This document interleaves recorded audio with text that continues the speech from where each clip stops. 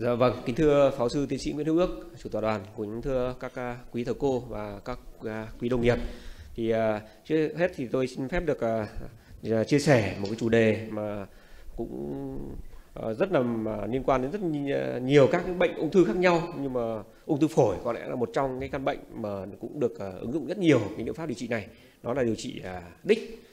Thế thì chúng ta biết là hiện nay thì à, với ung thư phổi thì là một cái nhóm bệnh mà rất là phổ biến ở Việt Nam cũng như là trên à, à, toàn thế giới. Hiện nay thì nếu theo thống kê thì tiếc slide chưa chuyển.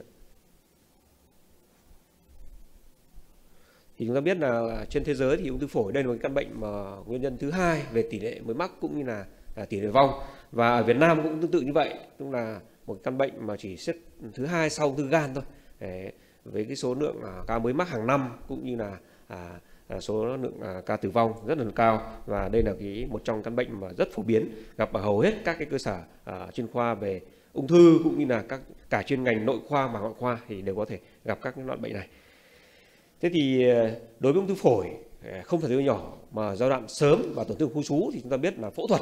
uh, của những chỗ của thầy ước là một phương pháp uh, cơ bản và có hiệu quả à, tốt nhất đối với cái à, giai đoạn này. Tuy nhiên khi bệnh đã tiến triển ở giai đoạn muộn hơn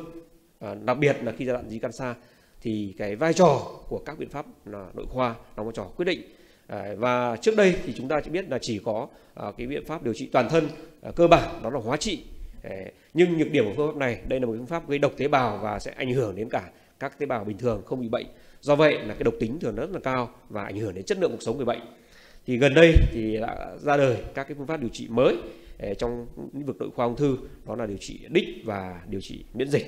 với hai cái ưu điểm chính của cái nhóm phương pháp này tức là hạn chế được các cái độc tính ờ, của ờ, các cái độc tính do do hóa trị mang gây ra. Thứ hai là nó tập trung vào đúng đúng cái chỗ cái, cái cái cái tế bào ung thư bị bị bệnh. Do vậy là sẽ làm tăng cái hiệu quả điều trị lên và giảm các độc tính tác dụng phụ thế thì uh, cái ứng dụng của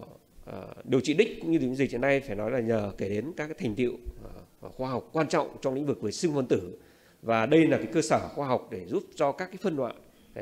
về đặc điểm bệnh học của ung thư phổi ở theo các nhiều các phân nhóm khác nhau. Như trên biểu đồ thì quý nông nghiệp thấy là chúng ta thấy có rất nhiều các cái phân nhóm khác nhau tùy theo cái đặc điểm sinh phân tử. Và cụ thể ở đây chủ yếu liên quan đến các cái tình trạng đột biến các gen khác nhau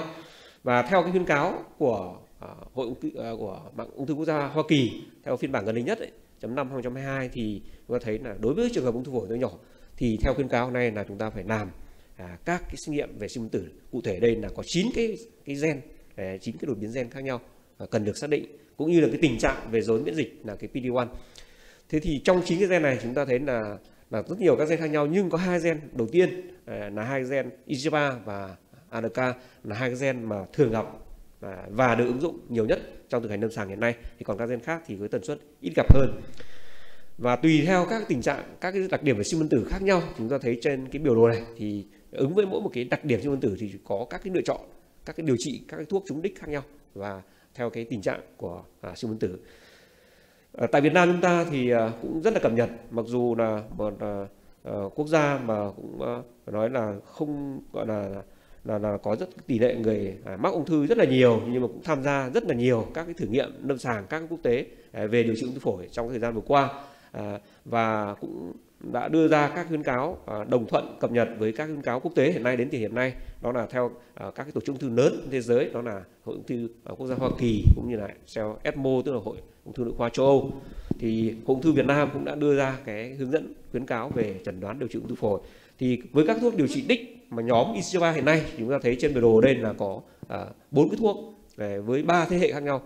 Enotinib và Zentinib thế hệ 1 và Apatinib là thế hệ 2 và gần đây nhất đó là Osiminib là thuốc thế hệ 3 và hiện tại thì trên thế giới cũng như ở Việt Nam chúng ta thì chưa có thế hệ 4 thì đây là cái thuốc mà đến thời điểm hiện tại là mới nhất là thế hệ 3 thế thì à, đối với thế hệ 1 thứ hai thì trên biểu đồ đây chúng ta thấy là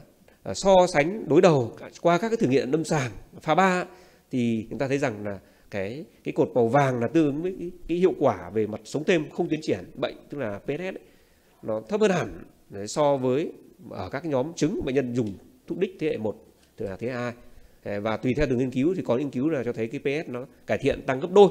so với nhóm nhóm dùng hóa trị có nghĩa là đây là cái thuốc mà đạt được cái hiệu quả à, cao hơn rất nhiều so với phương pháp điều trị kinh điển trước đây. Đấy là đối với thế hệ 1 và thế hệ 2 thế còn à, à, đối với thế hệ 3 thì chúng ta thấy là có cái cột cao trội vượt hẳn thôi. 18.9 đó là chính là cái cái, cái, cái kết quả của cái thử nghiệm sàng pha 3 tương ứng với hiệu quả của thuốc à, thế hệ 3 hiện nay đó là ositinib. Đạt được cái PS là 18.9 tháng tức là khoảng à, một năm rưỡi. Đối với các bệnh nhân đây là tất cả các đối tượng đều là bệnh nhân chẩn đoán giai đoạn muộn giai đoạn là tiến triển trên xa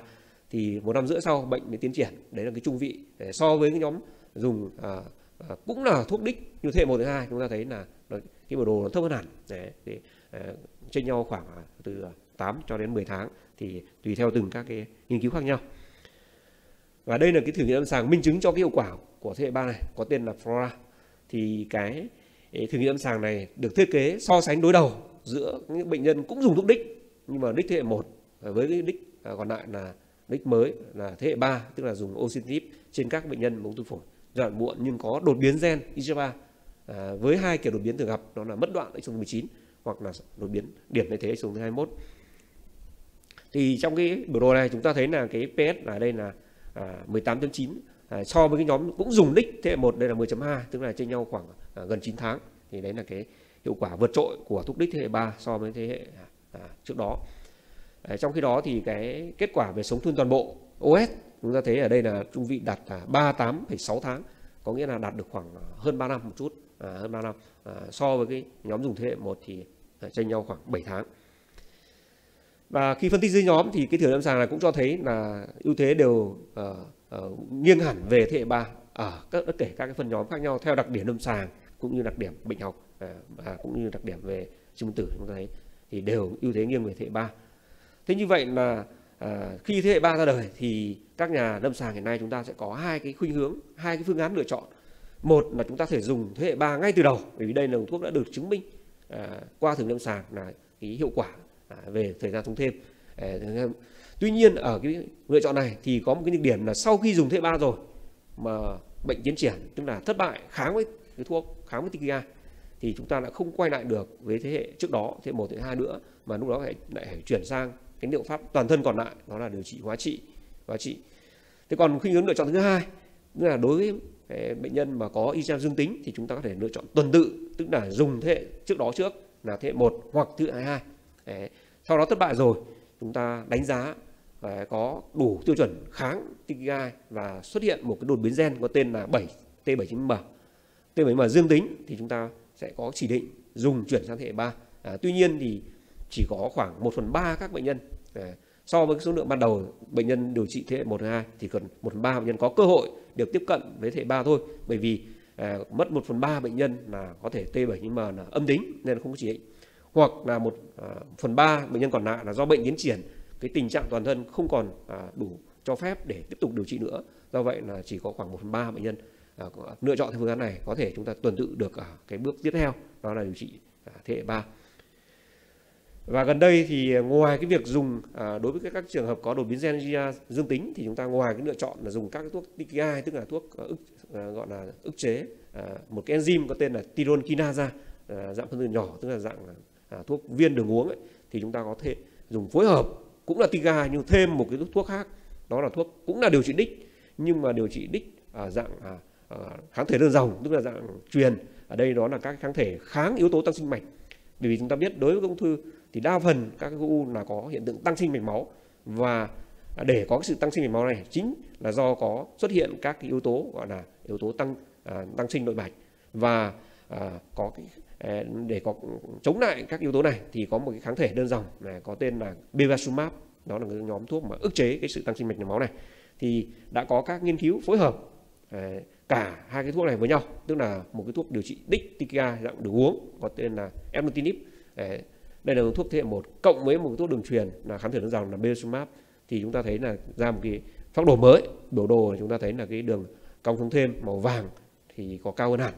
so với cái nhóm còn lại là chúng ta chỉ dùng đơn trị dùng TKI đơn thuần thôi thì cho thấy là cái hiệu quả cũng đạt được cái tốt hơn so với khi dùng từng phương pháp một.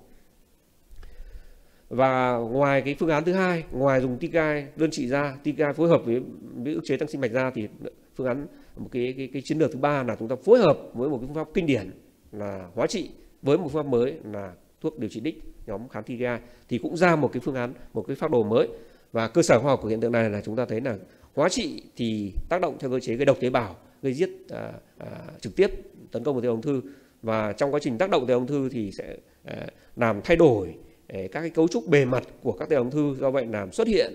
các cái kháng nguyên mới. Và đây cũng chính là các đích để cho các thuốc à, chống đích à, à, gọi là à, tiga tác động. Và trên cơ sở đó thì sẽ đạt được hiệu quả và minh chứng rằng cái kết quả qua các thử nghiệm sàng chúng ta thấy là cũng ở cái đường cong thông thêm ở cái nhóm mà dùng phối hợp hai phương pháp cả TIGA và trị thì cũng cao hơn so với chúng ta dùng à, tiga à, đơn trị. Và khi phân tích dưới nhóm thì ở các nghiên cứu này cũng vậy cho thấy là tất cả các kiểu đột biến khác nhau của GIGA à, mất đoạn hay là à, đột biến thay thế trong thứ 21 thì chúng ta thấy đều ưu thế nghiêng về cái nhóm mà chúng ta phối hợp và sống thêm toàn bộ cũng vậy tức là ngoài tiêu chí về sống thêm không tiến triển sống toàn bộ thì chúng ta thấy là đều nghiêng về à, cái nhóm chúng ta dùng phối hợp. Và chúng ta đang à, nói về cái chủ đề đó là cái đột biến gen IGF3 thì trong IGF3 thì có khá nhiều các đột biến nhưng ở đây chúng ta lưu ý là có cái hai đột biến thường gặp đó là đột biến xóa đoạn exon thứ 19 và đột biến thay thế ở exon thứ 21 thì như vậy à, đến thời điểm hiện tại thì theo khuyến cáo hôm nay thì chúng ta có khá nhiều các cái lựa chọn Ờ, trong cái nhóm đột biến này. Ngoài cả dùng các cái TI đơn trị thế hệ 1, thế hệ 2, thế hệ 3 ra và cách dùng có thể dùng tuần tự hoặc là dùng thế hệ 3 trước thì cái lựa chọn thứ hai là chúng ta dùng phối hợp với để, gọi là các thuốc ức chế tăng mạch. Ở đây thì có hai cái thuốc Besumab thì đã có Việt Nam còn một thuốc mới hiện nay ở trên thế giới đó là Rausimab Rausimab thì hiện tại thì à, chưa có ở Việt Nam và hy vọng trong tương lai gần sẽ có ở Việt Nam. Thì chúng ta có thêm một cái lựa chọn mới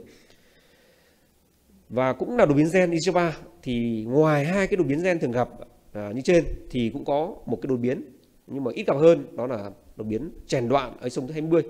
thì đây cũng là cái nhóm mà đột biến gen dương tính nhưng mà cái cái cái, cái, việc à, à, xử trí hiện nay thì có khác hai cái đột biến còn lại à, đã nói. Tức là à, trong hợp mà dương tính thì lại trong hợp ở nhóm bệnh nhân này thì cái hiệu quả nó không được tối ưu bằng à, so với hóa trị đơn thuần. Do vậy là cái khuyến cáo hiện nay là dùng hóa trị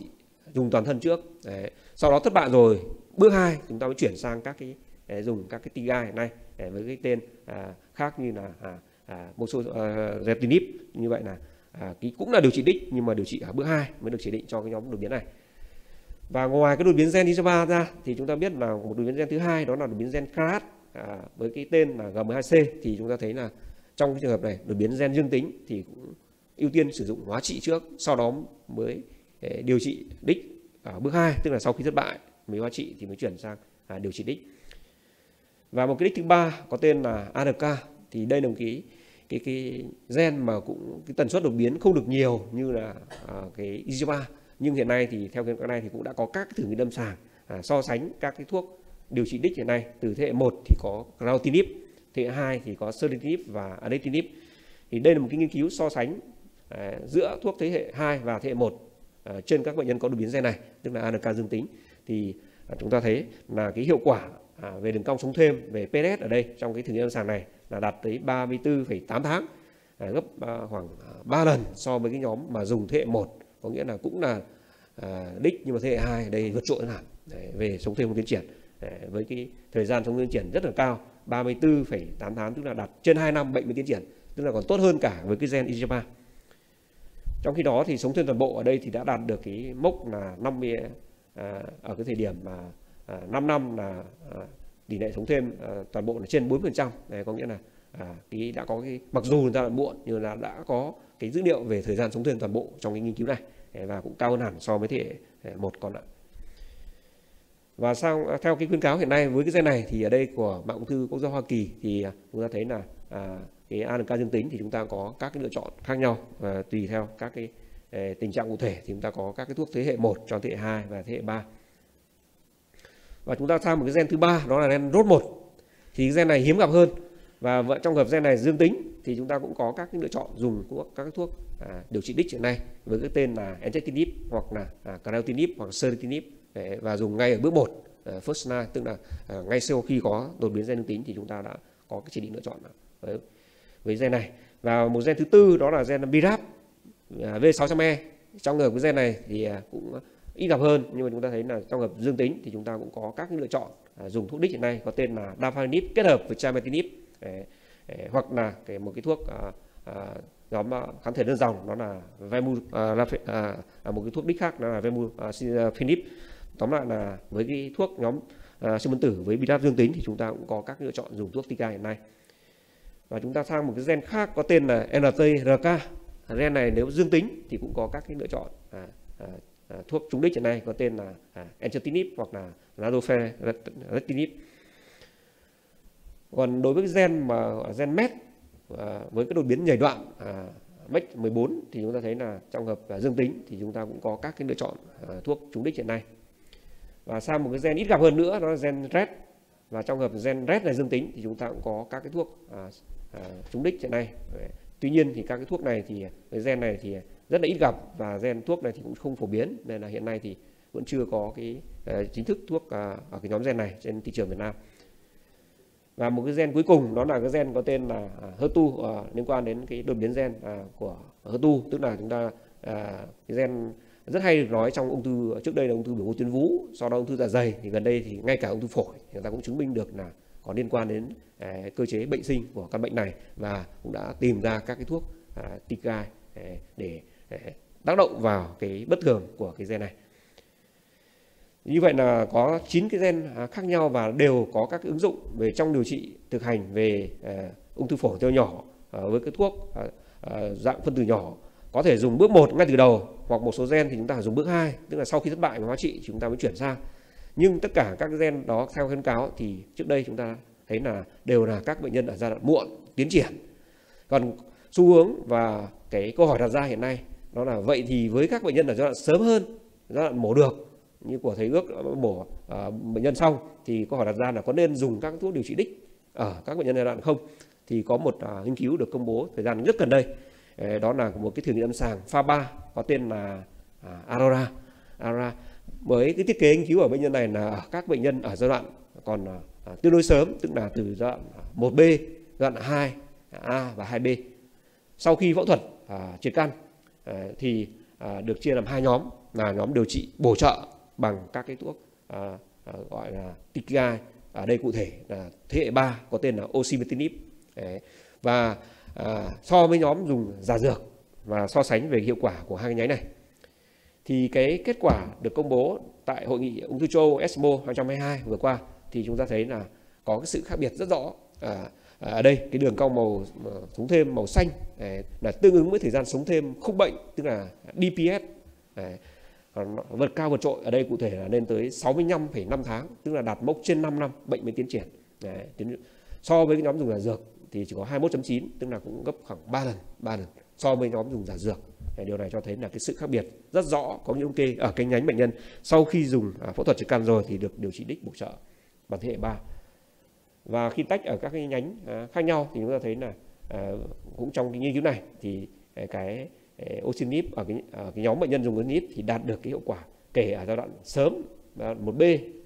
giai đoạn 2 cũng như là giai đoạn 3 thì đều Ờ, khi phân tích dưới nhóm thì chúng ta thấy ưu thế đều nghiêng hẳn về cái nhánh mà bệnh nhân được dùng ờ, oxymip bổ trợ thay vì dùng giả dược. Và khi đây là các cái đường cong thống thêm khi phân tích ở các dưới nhóm khác nhau à, thì chúng ta thấy là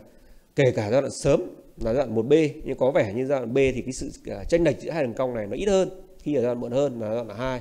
à, và thậm chí ở đây là giai đoạn là 3 à, 3 à, tức là trong nghiên cứu này cho giai đoạn 3 là giai đoạn mà vẫn có phẫu thuật được thì chúng thấy là cái sự khác biệt. À, càng nhiều à, à, khi mà chúng ta dùng à, TKI bổ trợ và tất cả đều có sự khác biệt có nghĩa thống kê. Và chính vì vậy thì hiện nay thì cái phiên bản gần đây nhất của mạng ung thư quốc gia Hoa Kỳ phiên bản chấm năm vừa qua thì cũng đã đưa cái kết quả cái thử nghiệm lâm sàng này đã được FDA phê duyệt và được ESMO phê duyệt hội ung thư châu Âu đưa vào cái guideline khuyên cáo cũng như là cái hội ung thư Hoa Kỳ hiện nay đã đưa vào khuyên cáo hiện nay. Thì chúng ta nhìn trên cái biểu này thấy rằng là ở giai đoạn từ giai đoạn rất sớm giai đoạn 1B cho đến giai đoạn 2A, 2B và giai đoạn 3 à, sau khi phẫu thuật rồi mà diện cắt dương tính thì chúng ta có chỉ định điều trị bổ à, diện cắt âm tính thì chúng ta có điều, chỉ định điều trị à, một cái thuốc à, à, tigai thuốc à, điều trị trúng đích à, đường uống. Ở đây cụ thể đó là osimertinib như vậy thì qua cái phần à, à, trình bày của tôi vừa qua thì cũng xin phép được tóm lược một vài cái thông tin. Hiện nay thì có khá nhiều các tiện vụ mới trong các cái lĩnh vực điều trị à, ung thư phổi nói chung, đặc biệt là đối với lĩnh vực nội khoa thì có một cái liệu pháp điều trị trúng đích với rất nhiều các cái thuốc mới, các cái thế hệ mới và được chỉ định cho uh, rất nhiều các cái đích khác nhau, các cái gen khác nhau, các đột biến gen khác nhau cũng như là các đặc điểm sinh vật tử khác nhau và qua các cái thử nghiệm lâm sàng cũng như là các nghiên cứu đời thực thì đều khẳng định được cái hiệu quả của các thuốc à, điều trị đích này giúp cải thiện được thời gian sống thêm không tiến triển cũng như thời gian sống thêm toàn bộ và giúp cải thiện triệu chứng cũng như là à, nâng cao chất lượng cuộc sống à, cho người bệnh đặc biệt là các thuốc à, điều trị đích à, thế hệ mới. Tuy nhiên thì trong thực hành lâm sàng thì để áp dụng được chỉ định được làm sao có hiệu quả tốt nhất mang lại hiệu quả cao nhất cho người bệnh nhưng lại phù hợp với điều kiện kinh tế của từng người bệnh cũng như là hạn chế tối đa các cái độc tính mang lại cho người bệnh khi các biện pháp điều trị có thể gây ra thì chúng ta cần phải cá thể hóa à, để làm sao à, đạt được hiệu quả tối ưu này. Và xin à, trân trọng cảm ơn sự chú ý theo dõi của quý thầy cô và quý đồng nghiệp